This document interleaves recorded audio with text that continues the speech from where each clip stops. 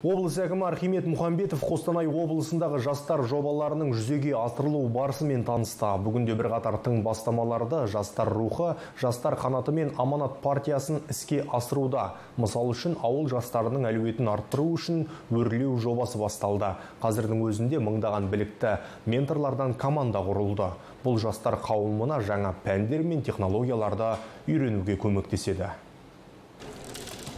Қазіргі уақытта жастар қоғамдағы ең үлкен әлеуметтік топ. Елімізде 35 жасқа дейінгі 6 миллионнан астам адам тұрады. Сондықтан Қазақстан үшін осы санаттағы азаматтарды қолдау өте маңызды. Осы орайда шаңырақ бағдарламасы қабылданды. Ол бойынша ел жастары тиімді шарттарға сәйкес жеке баспана сатып алу мүмкіндігіне ие. аманат партиясының сайлауалды бағдарламасында осы жастарды пәтермен қамту туралы бағдарлама бар соның аясында міне үлкен іс шара өтіп жатыр деп ойлаймын бұл мемлекет үшін де бір басым бағыттардың бірі. Сондай ақ осы бір ғана енді алды, биылдың өзінде елу жас баспаналы болса алдағы жылы жүзге жуық жастар баспаналы болады деп отыр.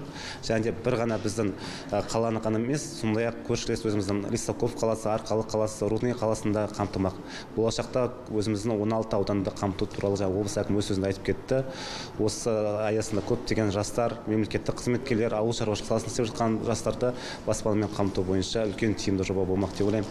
Сол, сол арқылы жастар өзінің туған жерінде елінде тұрақтап қалады Белсенді жастар облыс әкімінен еліміздің түкпір-түкпірінен 350-ден астам делегат жиналған жастар рухы жастар қанатының кезектен тыс съезі туралы айтып берді. Осындай кездесудің нәтижесінде жаңа кең ауқымды жобалар іске қосылды. Мысалы, қазір тарихи құжаттар мен фильмдерді қазақ және ағылшын тілінде ұсынатын тарих атты цифрлық алаң құру жұмыстары жүргізілуде. Помимо этого запускается большой проект IT-хакатон.